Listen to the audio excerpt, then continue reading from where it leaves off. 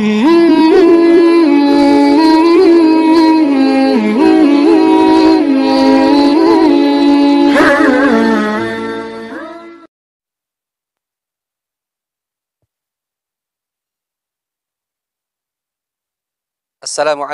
warahmatullahi taala wabarakatuh.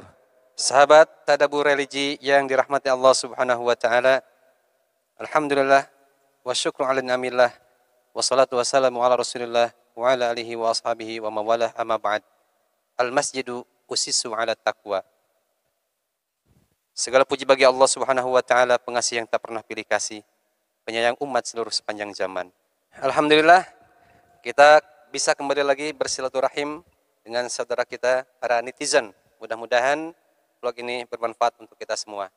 Baiklah, untuk mempersingkat waktu, kita melihat sedikit ke belakang kita bahwasanya ada gerakan dari kami selaku jamaah muslimin untuk senantiasa memakmurkan masjid.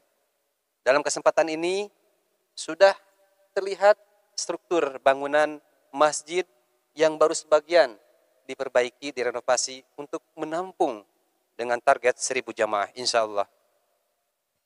Tapi sekarang dijeda terlebih dahulu dikarenakan ada pandemi yang sedang berlangsung pada saat ini.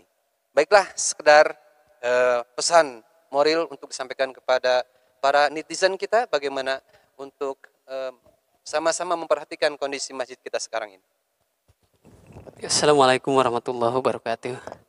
Iwatul iman yang dimuliakan oleh Allah Subhanahu wa taala. Perlu kita ketahui bahwa di belakang saya ini sangat memprihatinkan karena dengan keadaan situasi seperti ini beberapa bulan kita membangun masjid dan terhenti dengan adanya musibah. Tapi walaupun kita terhambat oleh dengan keadaan musibah ini tapi tetap keimanan kita ingin sekali membangun masjid. Karena apa? Rasul mengatakan dalam hadisnya, barang siapa yang membangun masjid untuk beribadah, maka dia pun akan dibangunkan gedung yang sangat istimewa nanti di surga Allah Subhanahu wa taala. Apakah tidak tertarik bagi orang-orang yang memiliki keimanan dan Islam. walaupun Islam tapi dia tidak memiliki keimanan itu tidak akan tergoyah hatinya. Oleh karena itu keimanan kita tingkatkan. Perhatikan bangunan-bangunan kita yang untuk dijadikan tempat beribadah. Ini adalah akses menuju surga kita. Kalau kita abaikan, maka kita ini yang berada di lingkungan masjid yang tidak memperhatikan bangunan-bangunan masjid, maka dia akan terjerumus terdahulu yang paling dahulu ke neraka Allah Subhanahu wa taala. Nauzubillah.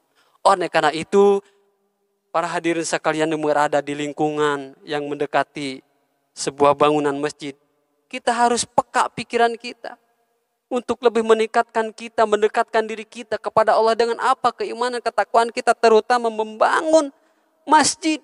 Karena seorang yang membangun masjid untuk beribadah, maka Allah pun akan memberikan keistimewaan kepadanya. Walaupun kita tidak punya harta, kan kita punya pikiran. Gunakan pikiran kita gimana caranya supaya bangunan ini menjadi hebat, menjadi gedung, menjadi istimewa. Kita ini pikirannya belet kalau bahasa Sunda atau buta. Kita punya tenaga. Gunakan tenaga kita untuk membantu segala sesuatu yang ringan. Ayo kita sama-sama bergotong royong. Yang berat kalau kuat ayo kita laksana. Kalau enggak, kalau enggak kuat ya kita akan banyak saudara. Angkut saudara kita, angkut donatur kita. Untuk apa? Untuk kelanjutan, kemajuan beribadah kita kepada Allah Subhanahu wa taala. Untuk itu kepada donatur mohon punya kepekaan untuk memikirkan bangunan-bangunan yang belum beres ini. Supaya apa? Ibadah kita lebih nyaman kalau bangunan kita itu indah. Sejuk dipakai ketika suatu bangunan itu rapi, bersih, ibadah pun, ibadah pun akan merasa membantu menuju kehusuan. Ayo kita tingkatkan keimanan kita, pikiran kita, otak kita, tenaga kita. Untuk apa? Untuk membangun masjid yaitu jalan menuju surga Allah Subhanahu wa taala. Mungkin hanya itu. Mohon maaf uh, apabila ada kesalahan. Kalau salah yaitu dari bodohnya saya. Kalau betul yaitu dari jalan Allah Subhanahu wa taala. Assalamualaikum warahmatullahi wabarakatuh. sekali lagi kami infokan bahwasanya bangunan ini baru seperempatnya saja, baru awal pembangunan. Untuk itu kepada para netizen, khususnya kepada para donatur yang terketuk hatinya, untuk sama-sama kita bangun masjid kita semua ini, masjid untuk umat muslimin semua ini, hingga akhirnya selesai pada suatu hari nanti. Amin ya Allah ya Rabbal Alamin.